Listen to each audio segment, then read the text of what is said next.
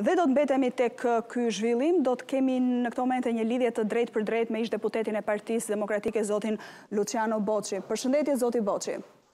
Përshëndetje.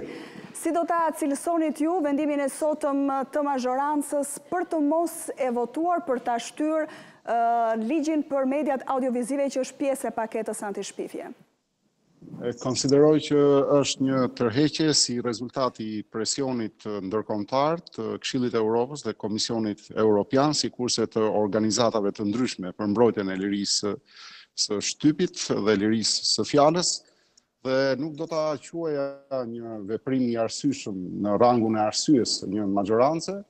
Maxhoranca vazhdon me absurditetin e saj, arbitraritetin dhe themi rrugën pa krye për të miratuar një ligj censure siç është ligji ose ndryshimet ligjore në fjalë paketa që është sjellë në parlament. Çfarë prisni ju nga Komisioni i Venecias dhe Nëse më tej mazhoranca a mund të ketë të bëjë ndryshime në ligjin në fjalë, a mund ta marrë në konsideratë ndryshime të cilat deri më tani i ka kundërshtuar? Unë pres nga Komisioni i Venecias që të ballafaqojë pikërisht ligjin dhe dëmin që i sjell ai lirisë së medias dhe vendosjes së censurës, si dhe moskoherencën e tij me drejtat totale të njeriut sipas kartës së drejtave europiane, por edhe edhe kundërshtitë që kjo paketë ligjore ka me kushtetutën shqiptare, po sikurse kushtetuta shqiptare me të gjitha ato parimet kryesore të lirisë së medias, dhe lirisë së individit që ekzistojnë edhe në hapësirën europiane dhe demokratike botërore. Dhe nuk pres ndonjë vendim tjetër, ai ligj nuk mund të arnohet ose të modifikohet. Në thelbin e tij ai kërkon dhe synon që të vendosi censurën, të godasë median online si zëdhënëse e së vërtetës dhe transmetuese e situatës reale aktuale në Shqipëri, sepse në situatën që jemi, një pjesë e madhe e medias kontrollohet dhe është e kapur nga qeveria dhe dritarja e së vërtetës është një dritare që mbetet gjithmonë tek media online, pjesën më të madhe të saj, sikurse ka dhe media tjera që e transmetojnë, por që lufta e qeverisë me ta vazhdon, forma dhe mënyra të ndryshme, dhe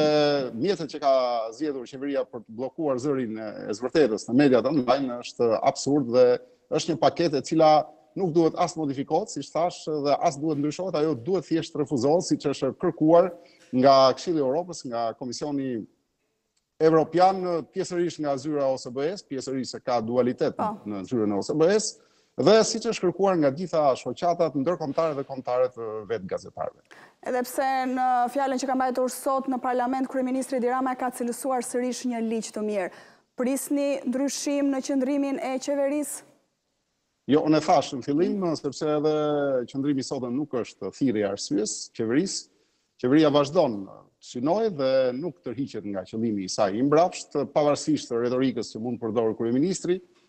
sigurisht nuk pres gjë tjetër përveçse emfazës politike, lavdërimeve etj etj, ndërsa qëllimi është prapa kuintave, qëllimi është i qartë për gazetarët, po duhet të bëhet edhe i qartë për opinionin publik. Qëllimi i Ramës është që të bllokojë median online, thashë si denoncuese e të vërtetave të hidhura të qeverisjes së tij,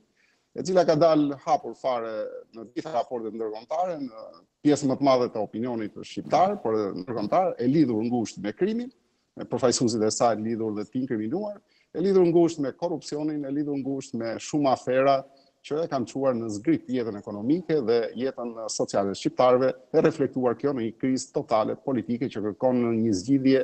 të shpejtë politike me zgjedhje të parakohshme. Ju falënderojmë zoti Boçi për këtë intervistë për opinionin tuaj në Euronews Albania.